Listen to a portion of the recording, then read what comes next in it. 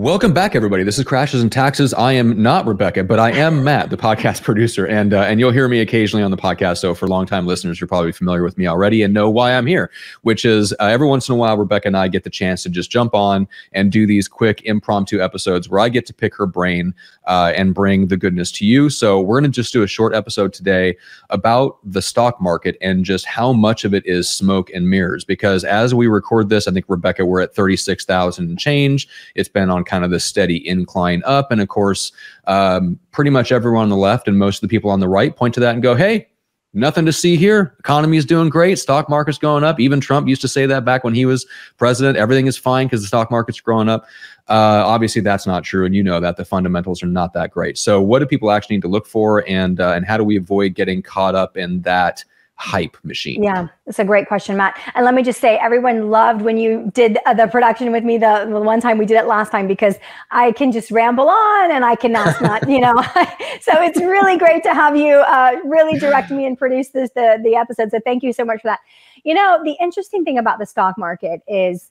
I would say that that has a basis in reality. It came from somewhere. Like we right. believe that the market is a good barometer for the economy because traditionally, historically, it has been. Yes. I would say that things really started to change in 2008 and 2009. And uh, specifically with the global recession, we call it in America the Great Recession. The rest of the world calls it the GFC, the Global Financial Crisis. Okay. And the reason the rest of the world calls it the GFC is if you will remember back, I'll take back everyone to that time frame just for a moment.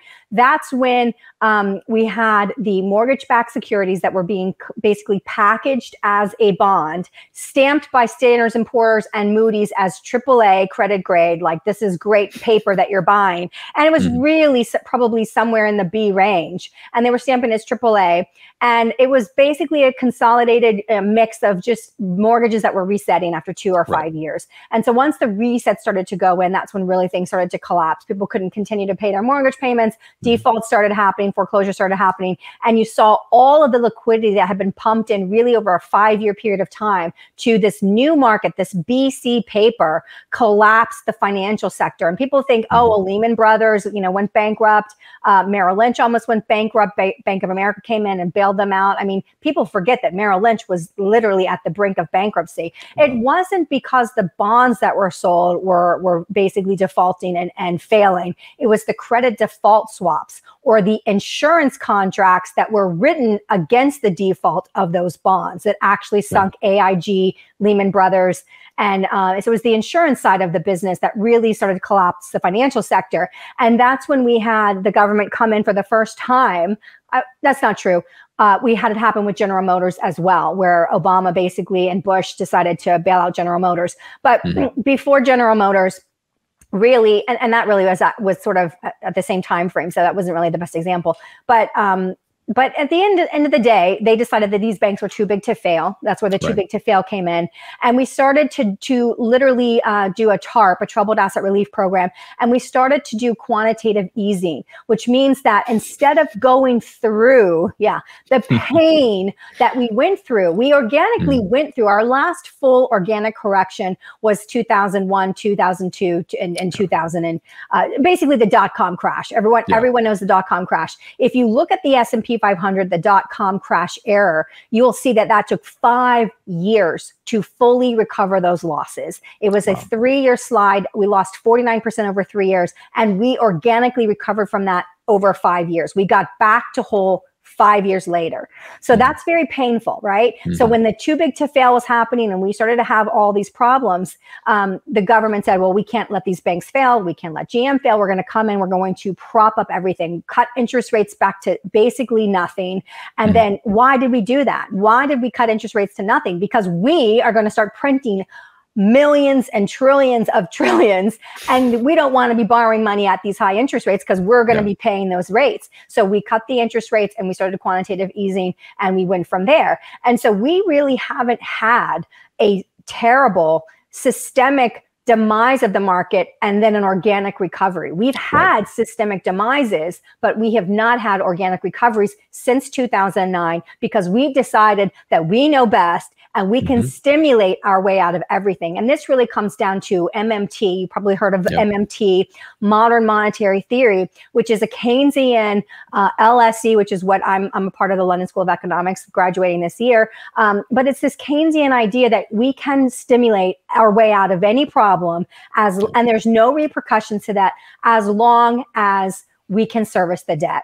And I mm-hmm. think that what 2022 is going to be a place marker forever in the history of time. This will be a benchmark year that will always be discussed from now until forever, the end.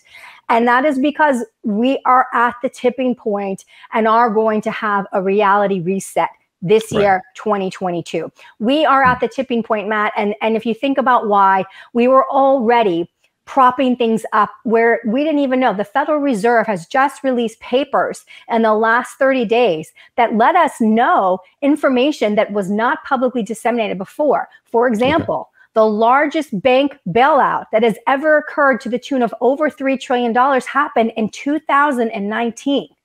Now, what?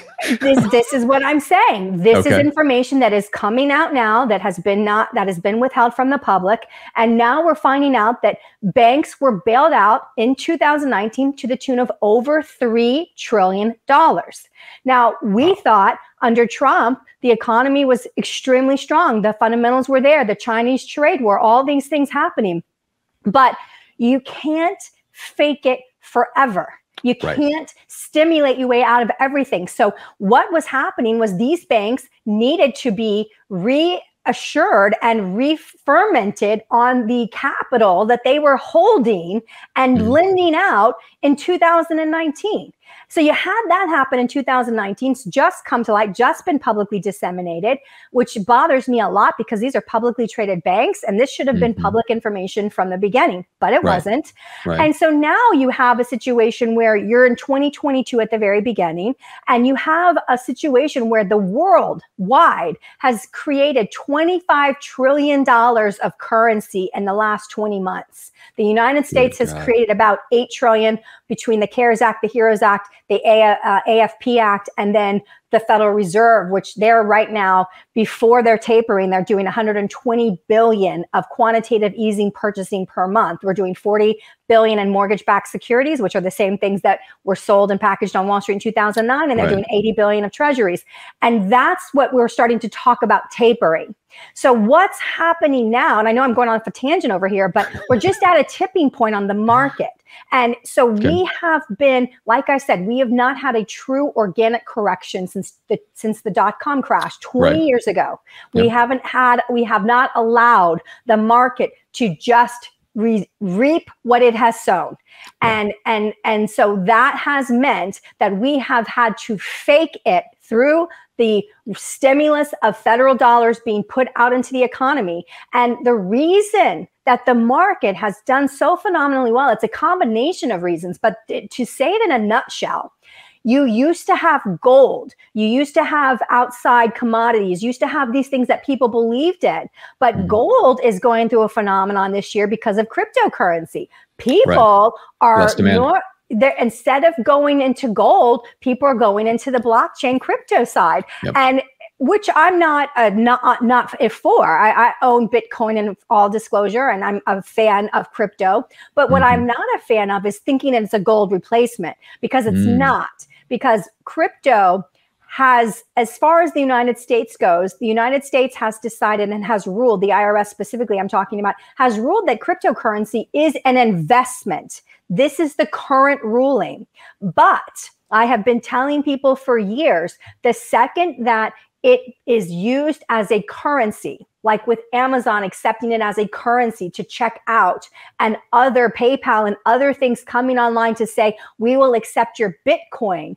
The second that it is used on a somewhat massive basis as a currency, the government is going to get involved as fast as you can say bananas. And the reason for that is the central banks of the world, which have just printed $25 trillion of new global currency, have no ability to do anything if they don't control the money supply. And so if you start to have yeah. a decentralized currency that is used as a currency, you will see so fast regulation. That's why the SEC is in a big fight right now to start to get a handle and regulate.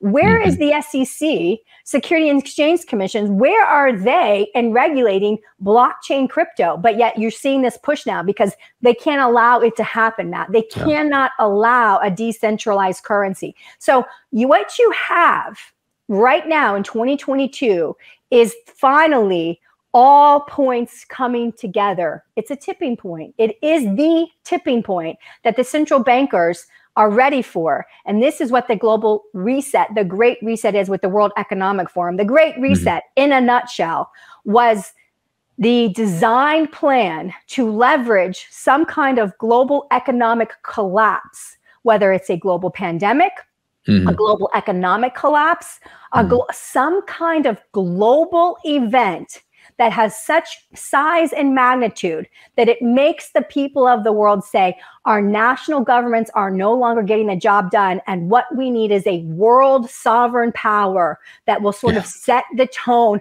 And you've already seen this happen through Corona. If you've noticed, we've had the World Health Organization, we've had the World Economic mm-hmm. Forum, we've had these global entities that are spouting health policy, economic policy, how we get through this thing. And I think that the globalists really wanted for the Great Reset. And they say this this is nothing that you can go out and see Agenda 2030 and read all of these things yourself. But mm-hmm. their their vision was a global situation that would bring about the necess- necessar- necessary conditions that people would be really ready to say, you know, the national sovereignty is a control. myth and we need yep. global control. And uh, it's not working out the way that they had thought or no. planned. It's, no, it's not, not, going that, that way at all. But now they're backed into a corner because they've printed so much money. And the reason the market has done so well is when mm. you're at, looking at crypto, you're looking at gold and you're looking at equities when you have no place else to put your money, there's no bonds to buy. If you right. want any kind of legitimate return, since 2009, interest rates have been next to zero. Mm-hmm. We have not normalized interest rates at this point. So people will not buy bonds. In fact, we finally have Wall Street admitting in the last uh, 90 days that bonds are really not a long term investment pers- prospect as they've always been. They've always been the yin yeah. to the yang of equities. And the Wall Street has admitted in these last 90 days that that is no longer have holding true. And this is why all of the money has been captured in the market because where else can it go, Matt? Where else right. can it go? It doesn't make any sense that on the heels of a global pandemic that the world hasn't seen for a hundred years or longer, that the equity markets would be going nothing but up. But they are and they have been. And you have to ask yourself, where are the economic fundamentals to support it? With 12 million job openings, we had the clips of 4 million people per month leaving their jobs in October, November, mm-hmm. and December of last year, 2021. We call it the great exodus of the worker. It's outrageous. It's insane. And so all these people are quitting but yet they're still living, they're still meeting their bills. There's, how is this happening? Is it because right. of moratoriums on evictions and foreclosures? Is it because there's no student loan payments due? Is it because they're getting money for every child they have if they make under a certain amount of money as a married couple or as a single person?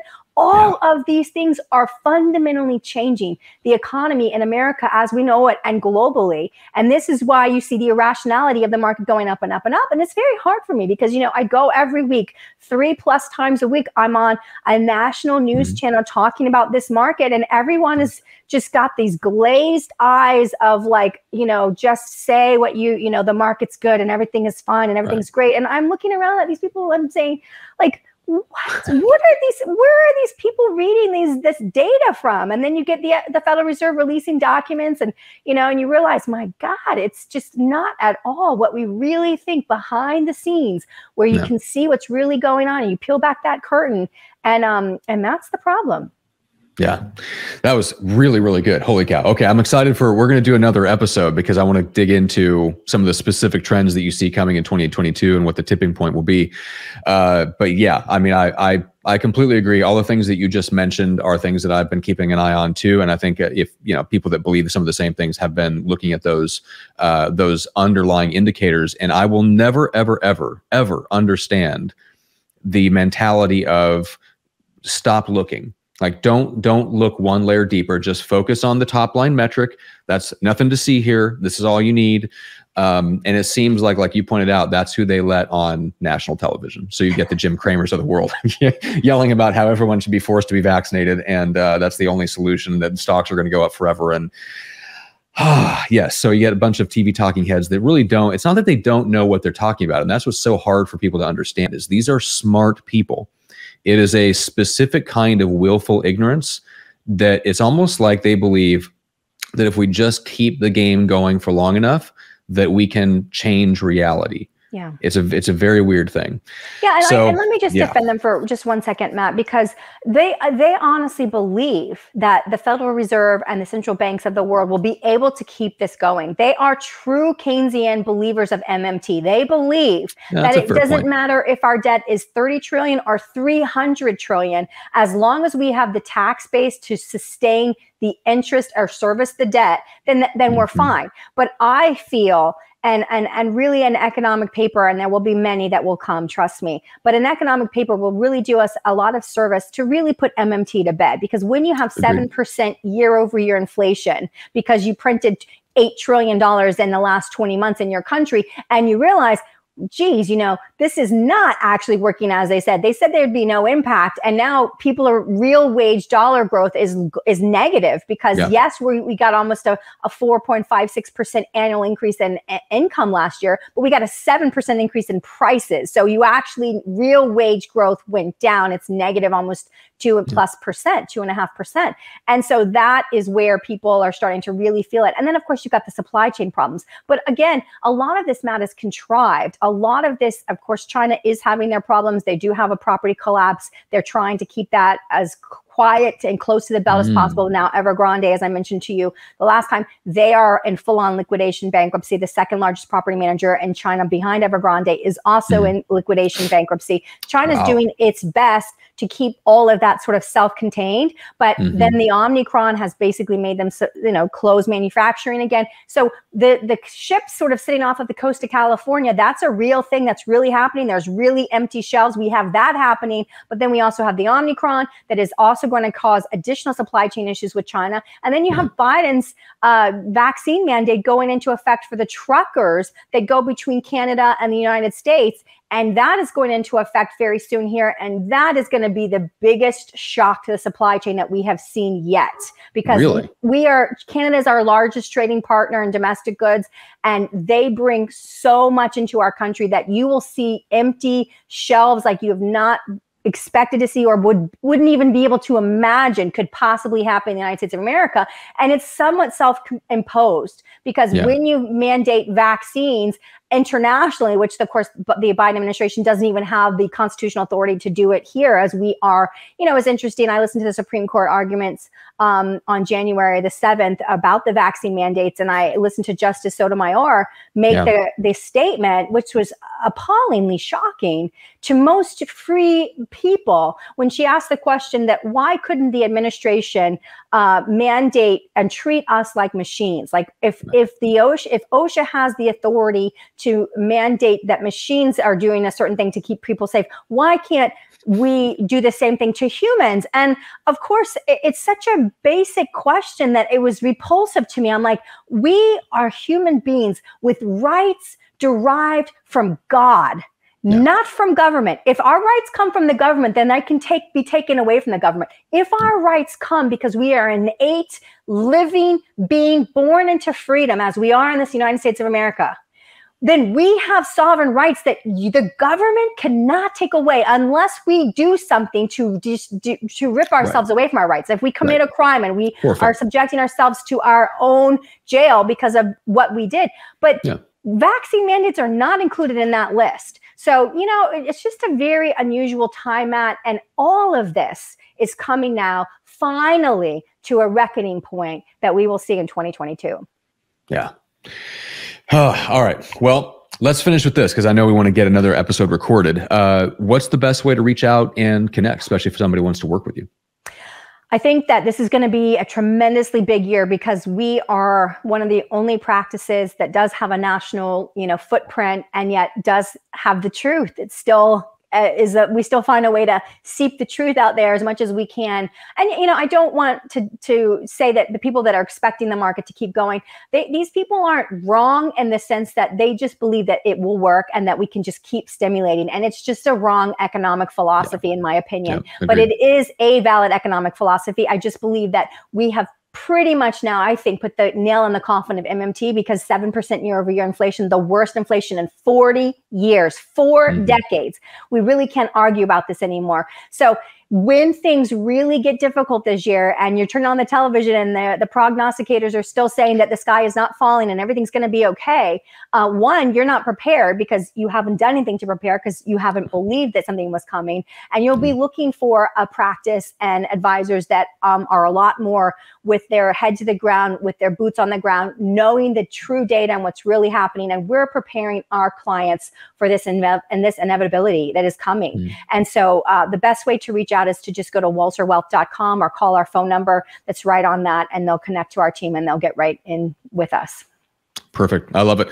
Everybody should go do that immediately, as well as get your book uh, and just get get uh, really steeped in what your belief system is and see if they agree. Because if they resonate with the things that we're saying, then it's better to work with a wealth advisor and a financial advisor that actually agrees with you uh, and and believes that the same things uh, are going to happen and are coming down the pipe. Because if they don't believe you, they're not going to help you prepare the way that you would like to be prepared. Exactly, exactly. Yeah, this it. is a choice. You can you can choose to mm-hmm. believe and ride the ride it out and see where it takes you, or you can choose to say you know, maybe I should go a little cautious. And, you know, the, the worst thing that I can do to my clients is be wrong and they miss out on a couple of months of growth or they miss out on, you right. know, so, but it's all, you know, all say, fake growth anyways. But then if I'm right and people don't take the advice, right, that we're talking about, you know, the, the mm-hmm. inevitable, potentially a collapse of massive retirement savings. And we already have a yeah. huge wealth gap in this country. We, we already are so underprepared as an average citizen for retirement on our own individual basis, anyways, that we just mm. can't afford, Matt, to have this market really tank and have people's retirement accounts just decimated.